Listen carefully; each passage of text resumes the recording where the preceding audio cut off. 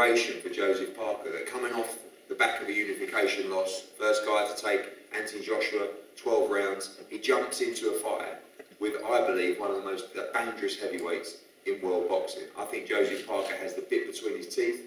I think he feels like he has a lot to prove. I think he wants to be in all the major fights in the heavyweight division.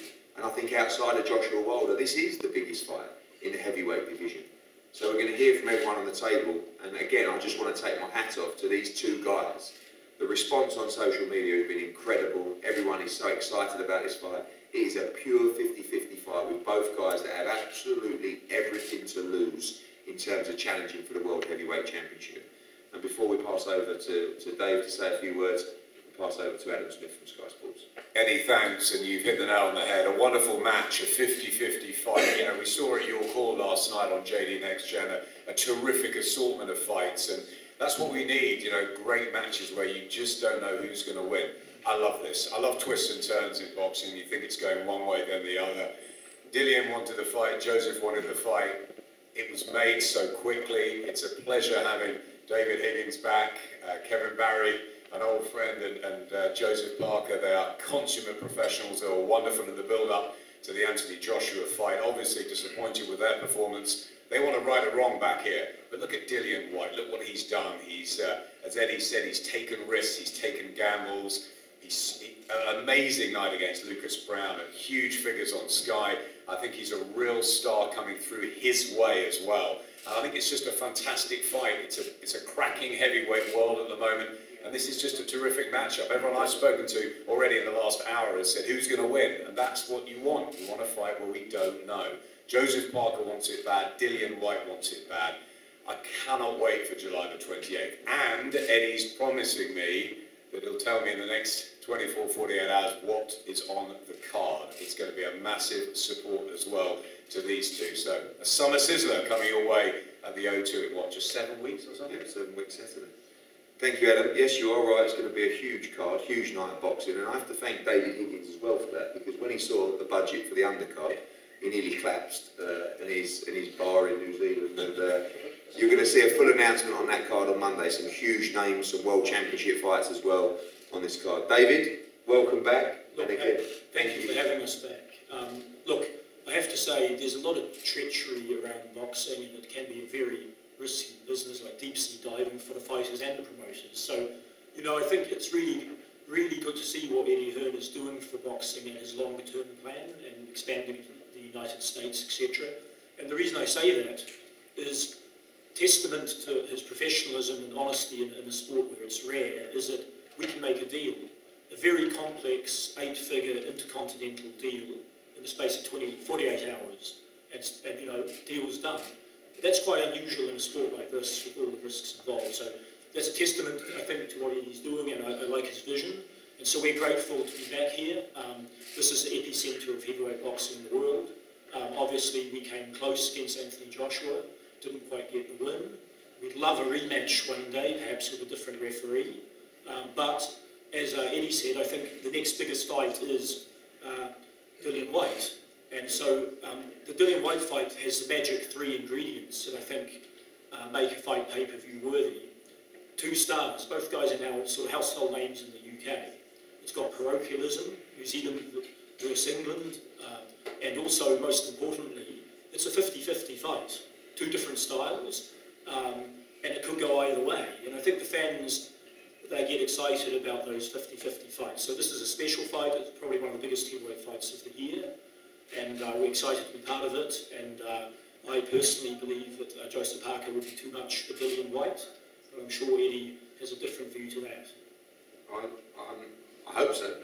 I hope so, but I do think it's a great fight. And one guy that's going to be very important, Kevin Barry, is obviously waiting for Joseph in, in Las Vegas at the moment. But here from Mark Tibbs, firstly, Mark, uh, spoke to you last night at your call and you were really excited about this fight. That I think really the hard work that Dillian Whyte has put in has paid off, and now he gets his big chance.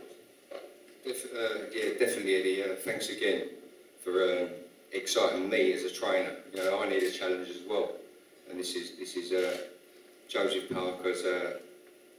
He's um, he's a good. He's been a world champion, so it's another world champion for Dillian, and um, We know what we've got to do to steady him up, shake him up, and do something which ain't been done to him. So, yeah, I'm really excited, very exciting. I think the styles will gel really well in this fight. Know, Joseph got to come to win this fight, obviously, and saw a great performance from Dillian against Lucas Browne. You see Dillian being able, like you said, to be the first man to potentially stop Joseph Parker. Well, listen, I don't want to promise any uh, any KOs or stoppages, but what I will promise you, whatever uh, Parker brings, whether he, whether he runs or whether he brings it, he's going to get steadied up. The old midriff is going to get touched, and he's going to get steadied up. But that's all with all respect, proper gentleman. But this is the fight game, and we're going to do the business. I promise you. Thanks, Mark. Joseph, I have to uh, give you a huge amount of respect. I know you just love to fight. You love to be in these big fights. We met yesterday. I really feel like you've got a bit between your teeth. You want to prove a point back here. You don't have your world championship belt anymore, but you want it back. I get the feeling you're very excited about the Dillian Whyte fight. Yeah, firstly, um, thank you all for making time to be here today for the announcement. Um, it's good, good to be back here in the UK. I feel like I'm spending a lot more time here than I do at home, so that's a good thing. Um, the last time I was here, was a great experience fighting um, in Cardiff in front of you know, all those people and the build-up to the fight. Even though I didn't get the result that we wanted, but I feel like it's a great time now to come back. And both fighters have taken up this challenge. A lot of fighters avoid each other, but I feel like no credit to, to Dylan and myself for uh, putting our hands up to fight each other. We know that we, we're both young, hungry, we want to win. And I'd also like to give credit to my promoter, David Higgins, and also Eddie Hearn for making this deal um, happen very fast. Now I'm looking forward to going back to training and breaking off the pies I ate in New Zealand, and then coming back in great shape, put on a great performance, and get that win. Both of you guys just hugely rated, highly ranked in all the governing bodies. Like we said today, applying for the the WBO for a final eliminator for this one. But this is just really the people's eliminator more than anything. The fans know that this is the big one. This is the, the fight outside of the World Championships. That, that you know the winner has absolutely no route other than a World Championship fight. Yeah, the winner, I think, is in pole position for a rematch with Anthony Joshua at some point in the future. Joseph, just finally, a great style for you and Dillian Whyte. I know, you know in some of your recent fights, you've, you've had to box a little bit more than sometimes you like, but expect an explosive night on July. I, I feel like it's going to be explosive. I've seen him fight. I respect him as a fighter, and he looked tremendous in his last fight. So uh, he, he sent me a message on Instagram saying he wants to go to war. So let's, let's make it happen. Dillian Whyte, you get your, your big night if you like.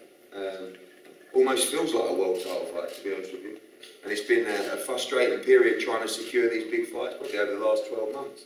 I feel as though you've called me a hundred times and we've probably had a thousand conference calls, but it's paid off and, and now you really get your chance to shine on a massive stage. Yeah, you know, it's been frustrating, but I've also understand that these guys are in a position where they don't want to take risks because, you know, obviously Joshua is there and Deontay Wilder is there, so guys sit down and wait 10, 12 months to two years before they get their chance. But I'm not about that. I'm here to fight and I want to fight and I want to give the fans big fights and that's a remember. And, um, this is one of them and it's a great fight. I believe um, Joseph Parker will be hungry, be motivated. I just hope that, you know, he leaves his running shoes at home on July 20th and come to fight. You know, hopefully boxing boots instead of As- Asics running trainers. Obviously, uh, this fight particularly is, is hugely important. Like you said, many in your position would have just waited it out to try and get the fight. Do you get the, do you feel the pressure in this fight? And that if you lose, you know, those heavyweight world championship dreams are over? No, listen, my whole career has been like that anyway in every fight. So it's been against against against it. So I'm used to it now, you know. I mean, um, some fighters have the easy way set up for them, other fighters it's a bit more difficult. So I'm used to that. I don't pressure myself. I the start there, do what I'm gonna do, get the win whichever way, whether it's by KO or I'm gonna box away to the decision. I don't really care. Just it's just about getting the wins. You know, I mean, you can only progress in a win. So for me, I don't care about what people say, what people think. I got there, do what I need to do. I'm very good at adapting and adjusting myself to the situation, whether they're running, whether they're fighting, tough fight, short fight, uh, in the moment. So. you And finally, we've, we've tried to make all the big fights, you know, the, the Wilder fight, of course.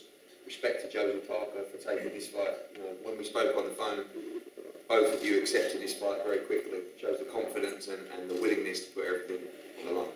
Yeah, massive respect to him, you know, I mean, he's young, he could have come back, you know, he put a decent performance last time, he had the moments in the fight with Joshua.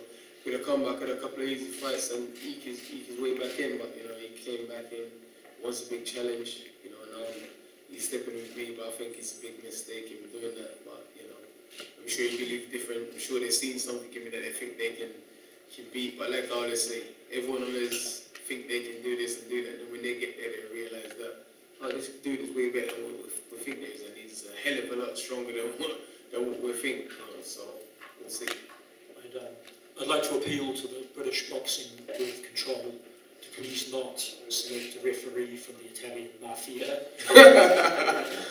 Someone more neutral would be nice next this time around. But we, he was neutral. We, eh, we actually asked for neutral judges together. Unfortunately, we got someone who is. He certainly didn't look it. No, no. We got some of the best referees in the world in the UK anyway, so that won't be an issue. I think these guys uh, might not get too close. The hugging stakes. I think this one's going to be an all-out war. Um, we're going to have a head-to-head up here. Then the guys will be available for one-on-one. Just a few questions from Sky Sports News now coming in here. Yeah. It's not about the WBC situation, you silver champion. Is this the final, final, final player eliminated? I don't know and I don't care, man. It's only a matter of time, know. All I've gotta do is just win, just keep winning, you know. I, I don't really care. You know, it's like boxing's a funny business. It's a very, it's a funny business. You know, we might win this one and they might call us to the world title. We might win in after another one after another two. But for me, I'm very, I find a high level what my experience is still growing. It's still very inexperienced, you know. So I don't mind. I just want to fight and just keep learning and keep improving. Every fight I'm getting better. The more fights I have, the more active I am, the better I am. I've already started this camp way, way better than I did last camp, and I'm excited. I'm progressing day in, day out, you know. So it's just, it's just good to have fights there and have the platform. Obviously, Sky Sport, I'm actually Diam, who is now made a few major moves, which is going to make it even more easier for me to fight more regular now. So it's great. You get, you call everyone out, you're happy to fight anyone. We've even seen cartoons of you. So is there respect to Park for taking this fight? Yeah, massive respect to him for taking this fight. Like, there's many guys who, who wouldn't, you know, there's lots of guys who doesn't want it. You know, like, for instance, you know, Pulev, they won the bid and they're messing about. You know, so we'll see. And Joe, I mean, I'll speak to you both in a bit one to one, but the love of the UK fans you had from the Anthony Joshua fight, was that a good reason to come back here as well? It's a great reason to come back. We felt like uh, we were welcome, felt a lot of love and support, and like doing, I just want to fight. I want to fight anyone and everyone. Thanks, Michael. Thanks everyone for turning up. We're head-to-head here. They're both guys available for one-on-ones. Thank you.